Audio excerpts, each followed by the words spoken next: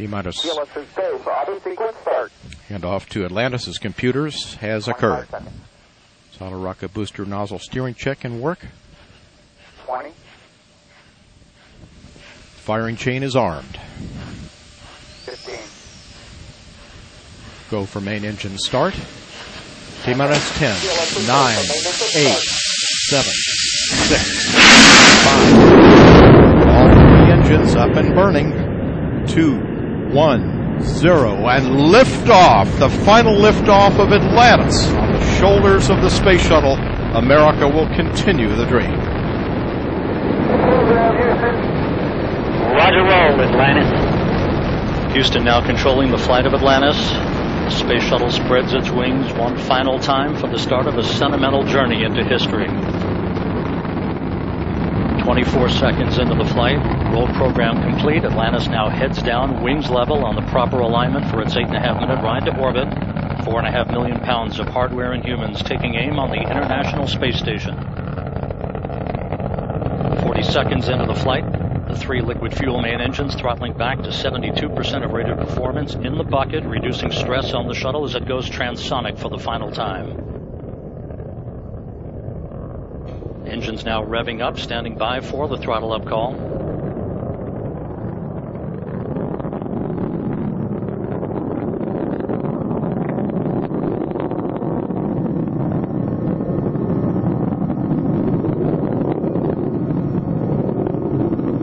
Atlantis, go at throttle up, no action, DPDT.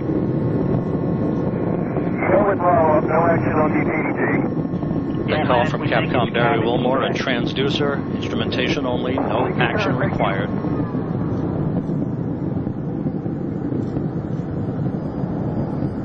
Atlantis now 15 miles in altitude, already 16 miles downrange from the Kennedy Space Center, 1 minute 40 seconds into the flight. Atlantis flexing its muscles one final time. Atlantis traveling almost 2,600 miles an hour, 21 miles in altitude, 24 miles downrange, standing by for solid rocket booster separation.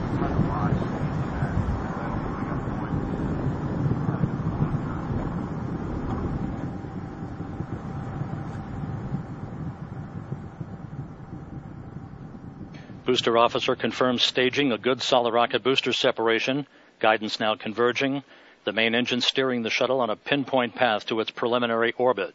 Two minutes, 20 seconds into the flight. Atlantis already traveling 3,200 miles an hour, 35 miles in altitude, 50 miles downrange. The propulsion officer reports the orbital maneuvering system engines have ignited. Atlantis kicking on its afterburners for 1 minute 23 seconds for the final phase of powered flight. Atlantis, two engine foul. Two engine foul. That As you call know, from Atlantis is Capcom. a single pane day, so in the event of contingency, you're in plane plus 230 on the ecal page. No com VIs when you're ready to copy. Okay, in plane plus 230, go ahead. Press to ATO, 10 decimal 8. Press to MECO, 14 decimal 7. Press ATO 10 decimal 8, press Amico 14 decimal 7. That's a good readback, Atlantis. Because of the slightly late launch time, Capcom Barry Wilmore reading up to pilot Doug Hurley the updated abort boundaries for Atlantis, which is flying on the singular power of its three liquid fuel main engines, draining a half a ton of fuel per second from the shuttle's large fuel tank. Three and a half minutes into the flight, Atlantis traveling 4,200 miles an hour, 54 miles in altitude, already 120 miles downrange from the Kennedy Space Center. Three good main engines, three good auxiliary power units, three good fuel cells for Atlantis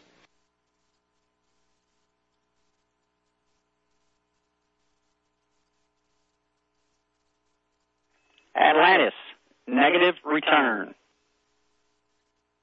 Negative return. That call from Capcom Barry Wilmore indicating that we're too high in altitude, too far downrange to return to the launch site in the event of an engine failure. However, Atlantis' three engines performing perfectly.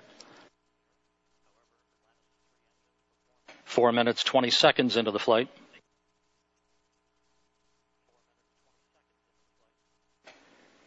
Atlantis currently traveling 5,500 miles an hour, 62 miles in altitude, almost 200 miles downrange. Four minutes of powered flight remaining. Atlantis speeding straight as an arrow toward its date with the International Space Station Sunday morning.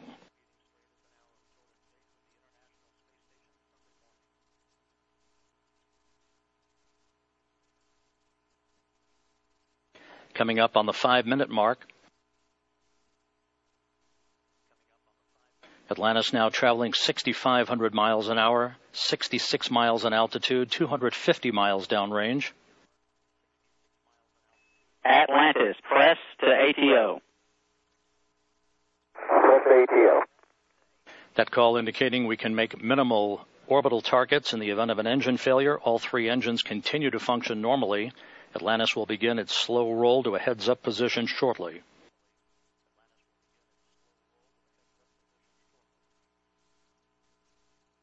Five and a half minutes into the flight, Atlantis traveling 7,700 miles an hour, 315 miles downrange. Atlantis, single engine, ops three. Single engine ops three.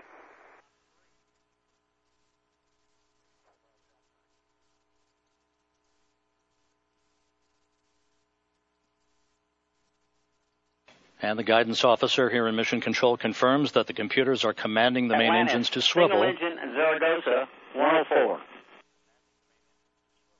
Single engine Zaragoza 104. We've rolled to a heads up position now, providing better communications to the tracking and data relay satellite system as Atlantis heads uphill. Six minutes, 20 seconds into the flight. Atlantis, press to MECO. Press to MECO. That call indicates that we can make our normal orbital cutoff targets in the event of an engine failure. However, all three main Chunky, engines continue to function normally. Nominal. Fergie, go to the plus X, go to the pitch. Down the shutdown plan. Go for the plus X. Go for the pitch. That call indicating uh, that we will be in good shape uh, for the uh, orientation of Atlantis for external tank uh, photography following main engine cutoff. Now seven minutes into the flight.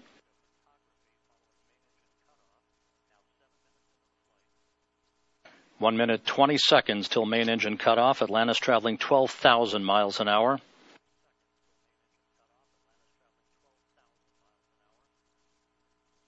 Main engines will uh, soon be throttling down once again to limit the stress on the shuttle and its four crew members to that of three times the effective gravity.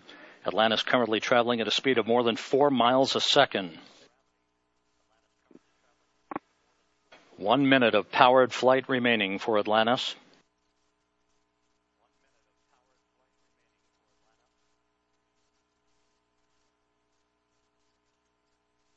Three good main engines, three good auxiliary power units, three good fuel cells.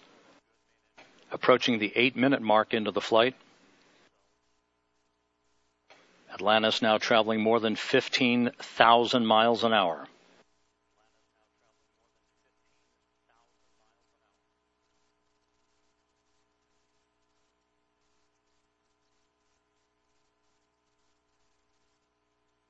Eight minutes, 15 seconds into the flight, standing by for main engine cutoff.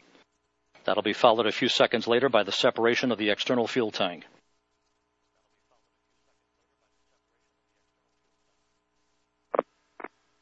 Booster officer confirms main engine cutoff. For the last time, the space shuttle's main engines have fallen silent as the shuttle slips into the final chapter of a storied 30 year adventure. Now standing by for external tank separation.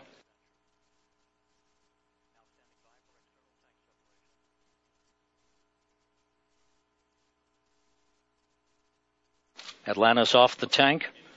Commander Chris Ferguson will be maneuvering Atlantis now into an orientation to enable Sandy Magnus to capture digital still imagery of the external Atlantis, fuel tank as it drifts away.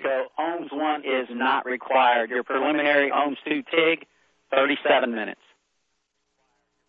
37 minutes. Uh, no Open 1 required. Thanks.